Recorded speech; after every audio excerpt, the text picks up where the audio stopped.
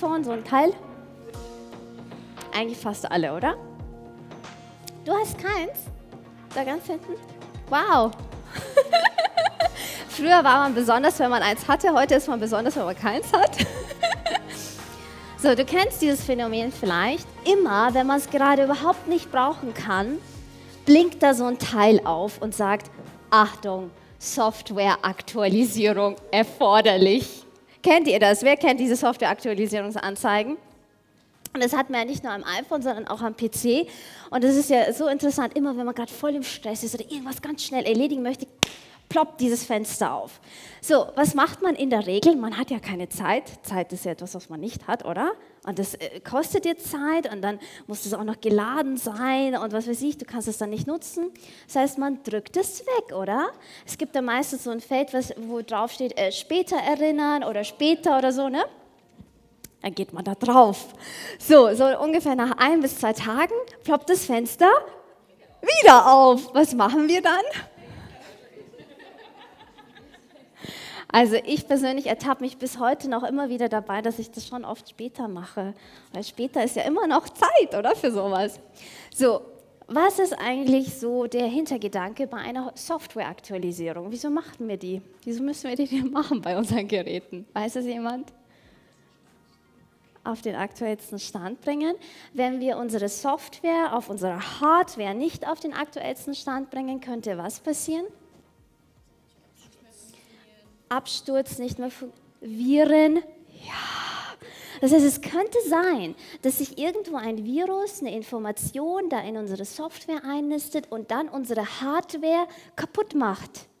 Wer von euch hat es schon mal erlebt, dass da irgendwo ein Virus drauf war auf dem PC, Handy und dann ging gar nichts mehr? Hatte ich auch schon. Und das ist super, super ärgerlich. Und dann denkt man sich, mei, hätte ich doch diese Software-Aktualisierung gemacht, oder? Aber dann ist natürlich zu spät. Das heißt, was müssen wir da machen? Wir müssen uns eine neue Hardware holen, also ein neues Gerät holen.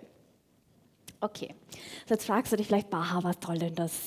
Wieso erzählst du uns denn? Wir sind doch hier nicht hier Informatikkurs oder so. Ich erzähle euch das, weil mit unserer Hardware-Körper gehen wir in den meisten Fällen sehr, sehr ähnlich um.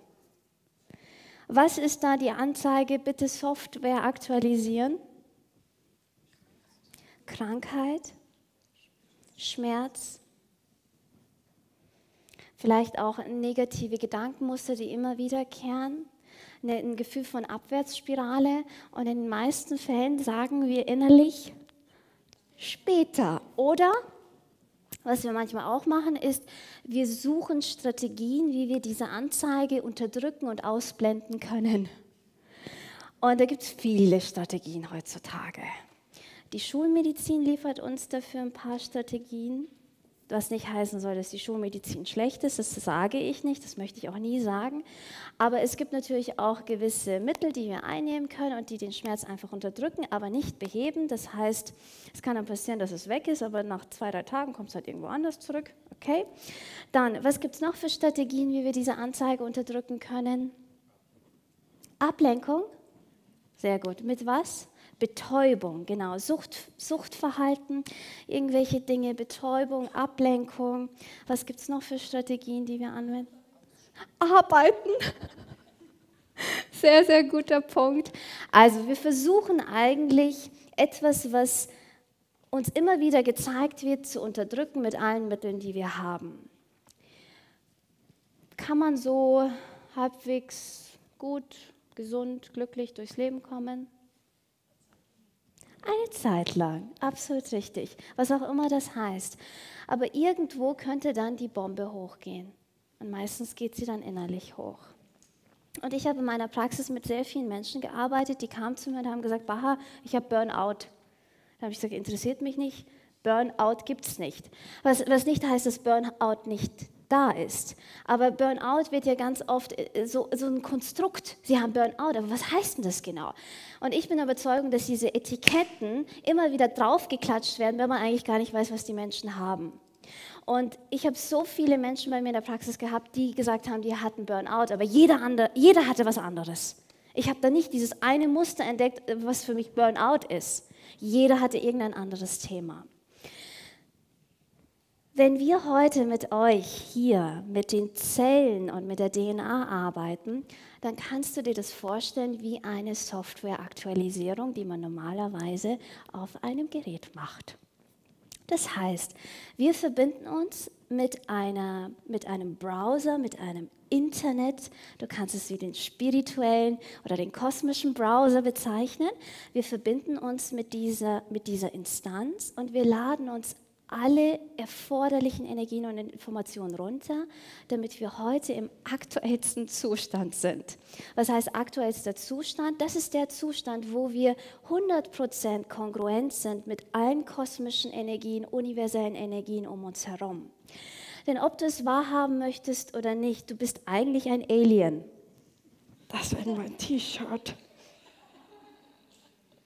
Denn wir sind alle Außerirdische. Wir sind alle Waisenkinder. Wir kommen von irgendwo, wir wurden hierher gebeamt, aber eigentlich wissen wir nicht, woher wir kommen oder was wir sind. Und wahrscheinlich gibt es irgendwo Außerirdische, die gucken darunter und denken sich, oh, was für komische Aliens, Außerirdische da unten. Versteht ihr? Wir sind hier zu Gast auf dieser Erde. Und es ist wichtig, dass wir nicht vergessen, woher wir kommen und dass wir spirituelle Wesen sind, die spirituelle Ressourcen benötigen, um uns zu entfalten. Und das ist das wichtigste Konzept auch hinter dem Teil heute DNA und Zell Upgrade vom Limitless Training. Wie die meisten von euch wissen, bin ich ja ein bisschen so Energieexpertin, Energy Consultant könnte man das auch nennen. Äh, so medialer und sensitiver Berater, das ist jetzt schon ein bisschen irgendwie so verstaubt, deswegen habe ich es ein bisschen aufgepimpt.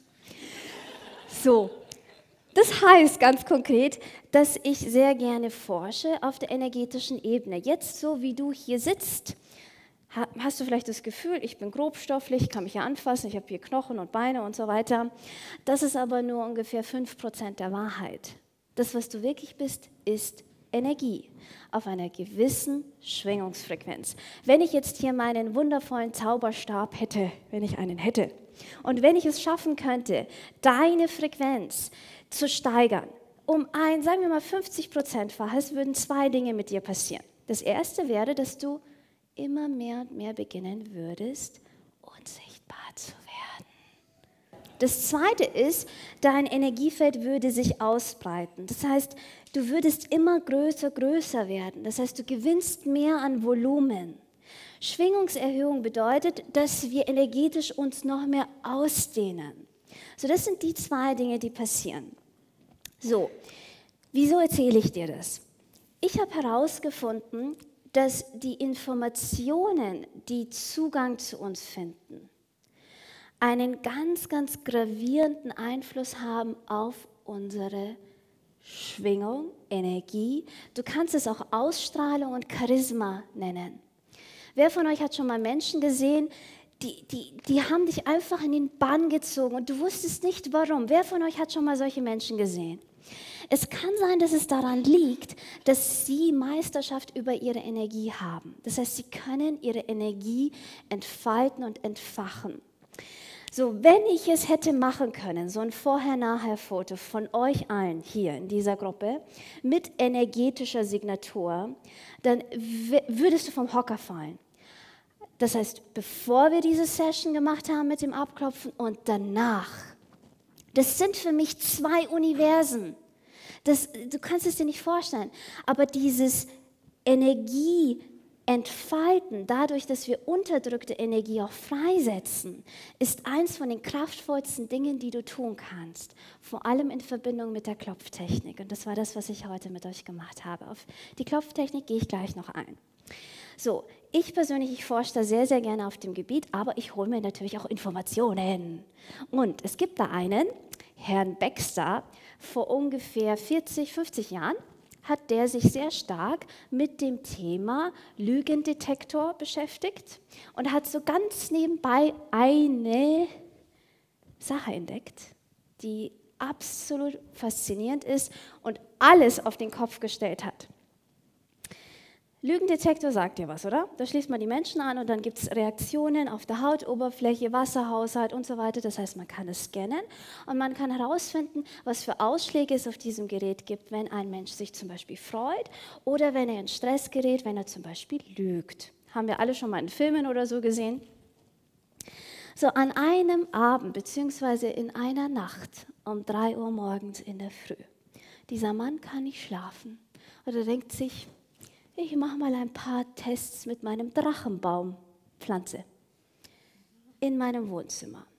Und es ging ihm eigentlich nur um den Wasserhaushalt und er wollte, glaube ich, herausfinden, wie schnell das Wasser, was er unten in die Erde gibt, bis zu den ähm, Blättern vordringen kann. So, hat er seine Pflanze an den Lügendetektor angeschlossen und er hatte noch gar nichts gemacht. Das heißt, das Wasser war noch gar nicht in der Erde hat er auf einmal gesehen, dass ein starker Ausschlag stattgefunden hat auf seinem Gerät. Und zwar genauso, wie wenn Menschen sich freuen oder stark erregt sind. Und der Mann war total baff, weil ich dachte, wie, das kann nicht sein. Ich habe nichts getan. Und es gibt einen Ausschlag. Das heißt, auf einer unsichtbaren Ebene hat die Pflanze gecheckt, jetzt kommt gleich was Tolles. Ja, ja! Und sie hat sich gefreut auf das Wasser. Und dann dachte sich, okay, nächster Test. Wenn es in Richtung Freude ja geht, dann schlägt es vielleicht aus, auch in Richtung Stress. Das heißt, er hat eine Schere rausgeholt und wollte wirklich ein Blatt wegschneiden. Und was ist passiert? Gen ja, genau der negative Ausschlag. Also wie wenn man wirklich unter Stress ist. Und das müssen wir jetzt mal auf der Zunge zergehen lassen. Das ist eine Pflanze. Eine Pflanze hat auch ein Zellbewusstsein, ist natürlich auch kosmische Energie, aber es hat kein menschliches Bewusstsein und es hat diese Ausschläge. Und danach wurde er süchtig nach diesem Thema. Was er dann noch gemacht hat, er ist in das andere Zimmer nebenbei gegangen und hat dort diese Gedanken ausgesendet, dass er zum Beispiel ein Blatt anzünden wird. Dann kam er zurück und hat gesehen, dass genau in dem Moment, wo er diesen Gedanken hatte, es wieder diesen Ausschlag gab. Heftig, oder? Also ich finde das so faszinierend. So. Und ein ganz, ganz wichtiger Schlüsselpunkt war bei seinen Tests folgender. Er hat nämlich herausgefunden, dann nachdem er so seine Tests gemacht hatte, dachte er sich, okay, er tut jetzt mal so, als ob. Das heißt, er geht mit der Schere hin, aber eigentlich weiß er, er wird es nicht tun. Ist nichts passiert. Die Pflanze hat es gecheckt, dass er nur so tut, als ob. Wahnsinn, oder? Also ihr könnt es nachlesen, er heißt Baxter mit B-A-C-K-S-T-E-R und er wird auch der Vater der Pflanzenkommunikation genannt, weil er da dann auch ganz viele Forschungen gemacht hat. So, wieso erzähle ich dir das? Ich erzähle dir das, um dir deutlich zu machen, dass jede einzelne Zelle zuhört. Jede einzelne Zelle. Und zwar zu jedem Moment in deinem Leben. Jetzt denkst du dir vielleicht, fuck. Jetzt dampft die Kacke sozusagen. Okay, nicht so weiter schlimm, weil es gibt etwas, was noch viel, viel schlimmer ist, wie etwas, was du sagst, was nicht so hochschwingend ist, und zwar Dinge, die du unterdrückst. Das wissen wir. Das heißt, alles, was du unterdrückst, ist von der toxischen Ladung her viel schlimmer wie die Dinge, die du sagst. Kennt ihr das? In der spirituellen Szene gibt es Exemplare an Menschen, die sind immer weiß gekleidet, die sagen keine bösen Wörter. Kein nicht, nein, kein. Ne? So, und keine bösen Wörter. Ja. Okay. Es kann wirklich sein, dass diese Menschen nur aus Licht und Liebe bestehen. Finde ich sehr edelmütig, finde ich ganz toll. Ich kann es nicht, ist egal. Muss man vielleicht auch nicht können. Aber ich frage mich, wir sind ja in dieser Welt von Polarität. Das heißt, es gibt immer beides, oder? Wo haben die das andere? Wo ist, wo ist die Schattenseite? Haben die, die zu Hause gelassen? Ist die im Keller? Wo ist diese Schattenseite? Vielleicht haben sie ja keine. Ich weiß es nicht. Also ich möchte da jetzt auch nicht zu, zu stark in dieses Thema einsteigen, aber ich habe erlebt, dass ganz viele Menschen das unterdrücken. Das heißt, ihre Wut, ihre Aggressivität, ihre Ängste unterdrücken, aber es ist okay, diese Ängste, diese Emotionen zu haben. Was ist schlimmer, etwas Unterdrücktes oder etwas, was du lebst? Und du musst dir das so ein bisschen so vorstellen wie Dinge, die du in deinen Keller schiebst und der Keller ist immer mehr voll und voll und unordentlich. Und wenn ich jetzt über diesen Keller spreche, dann muss ich immer an den Keller von meiner Mama denken, weil meine Mama hat es wirklich nicht leicht, also mein Dad auch nicht. Aber was, wir sind ja drei Mädels zu Hause und die sind alle natürlich ausgezogen. Aber wir haben sozusagen unseren Mist, haben wir bei meiner Mama noch im Keller drin. Und meine Mama, jedes Mal, wenn ich in meiner Sommerpause bin, so ungefähr eine Woche vorher, sagt sie, du Baha, kann man das jetzt mal ausmisten? Und wir kommen nie dazu. Aber ihr Keller ist wirklich voll mit dem Karma von mir und meinen Schwestern. Es tut mir wirklich fast schon ein bisschen leid. Ich werde ich werd das in der nächsten Sommerpause. Wie bei der Conny gibt es bestimmt auch noch ein paar Sachen von dir, bin ich mir ganz sicher. So, das heißt, dieser Keller, wenn wir den mal ausmisten, dann hast du auf einmal Zugang zu Ressourcen, die unterhalb dieses Kellers liegen. Also du musst dir vorstellen, wir sind alle spirituelle Wesen, die mit dieser Erde verbunden sind. Und dieser Keller steht sozusagen zwischen dir und deiner Verbindung zum Ressourcenportal der Erde. Und wenn wir sagen, okay, ich verabschiede mich von all diesen unterdrückten Dingen, ich schaue sie mir an, und ich lege sie zur Seite, wirst du spüren, dass du eine ganz andere Verbundenheit mit dir selbst, der Erde und mit den Menschen auf der Erde auch spüren wirst. Und das kann alles für dich verändern.